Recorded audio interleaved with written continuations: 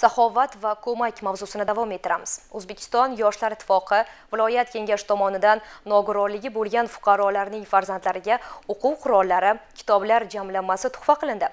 Muxbirimiz lavhasi shu haqda. Saxovat va ko'mak umumxalq harakati doirasida nafaqat ijtimoiy himoyaga muhtoj oilalarga oziq ovqat mahsulotlari tarqatilmoqda balki karantin davrida uyda ta'limni davom ettirayotgan yoshlar ham qo'llab quvvatlanmoqda o'zbekiston yoshlar ittifoqi navoiy viloyati kengashi hamda viloyat mahalla va oilani qo'llab quvvatlash boshqarmasi tashabbusi bilan xuddi shunday xayrli tadbir amalga oshirildi.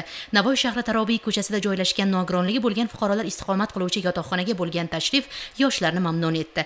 Garchi imkoniyati cheklangan bo'lsa-da farzandlarining istiqboli uchun jon kuydirayotgan ota onalarning birgina maqsadi jigarbandining kamolini ko'rish. 14 yoshli loshinbek sadullayev ismi jismiga mos yuksak cho'qqilarni ko'zlab parvoz etmoqda. O'zbek jang san'ati sport turi bilan muntazam shug'ullanib bugun jahon chempioniga aylangan bu yigitga o'zbekiston yoshlar ittifoqi viloyat kengashining tashakkurnomasi hamda badiiy kitoblar jamlanmasi tuhfa etildi. Yaqinda rossiyaga borib keldim. Undan ikkinchi o'rin bo'ldi faxrli ikkinchi o'rinni oldim bu sportga qatnashganimdan juda yam faxrlanaman. Kelajakda yaxshi inson bo'lib erishishga harakat qilaman. Hammasiga ota onamga rahmat deyman ustozimga rahmat deyman.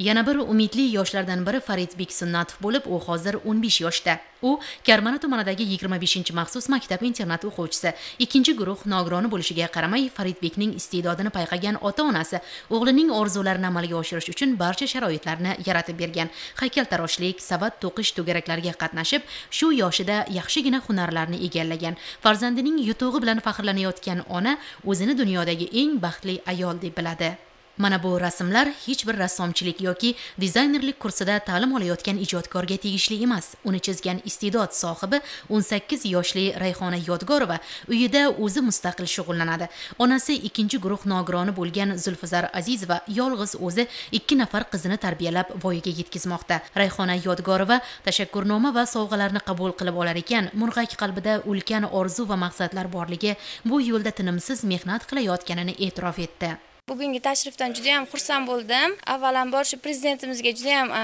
katta rahmat minnatdorchiligimni bildiraman. Kelajakda atelye ochmoqchiman. Atlas milliy matolaridan turli liboslar tikib o'zbekistonimizni bayrog'ini e, yuksaklariga ko'tarishga o'z hissamni qo'shmoqchiman. Shundan so'ng karmana tumani dehqon mahalla fuqarolar yig'inida yashovchi bir nechta ijtimoiy himoyaga muhtoj oilalar holidan ham xabar olindi.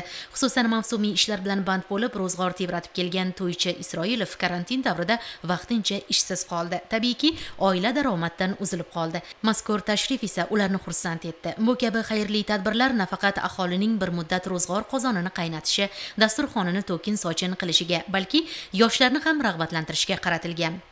Onlayn darslarga qatnashib boryapmiz. Onlayn darslar qulay. Karantin davrida ham bolalarni o'qishsiz qoldirgani yo'q. Davlatimiz prezidentimizga rahmat katta. Hamma narsaga intiladi baland cho'qqilarni egallayman deydi katta o'qimishli inson bo'laman deydi yuz yuzga qaratmayman deydi. Aholini ijtimoiy qo'llab quvvatlash va yoshlarni rag'batlantirishga qaratilgan mazkur xayriya tadbiri viloyatimiz bo'ylab davom etmoqda.